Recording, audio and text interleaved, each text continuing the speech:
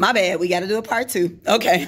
but she has to do an eight page paper about her experience in the classroom. Mm-hmm. And so far, what has been your experience? Um, I definitely have been observing the children with the sitting down, the standing mm-hmm. up, how they talk when they talk to you, what manners. Mm-hmm. Um, you can really tell that most of the children are um, products of their environment. Mm-hmm. Um, you can tell which ones has the parents that's like, I'm not playing that, and then you have the ones that's like, oh well, we really don't care. Don't care. Yeah.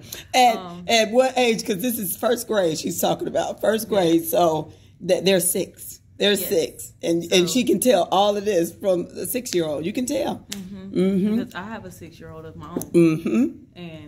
When I walk through that hallway, nobody even know which child is mine. See, because see? he knows not to even step out of the line without the teacher telling him to. So see.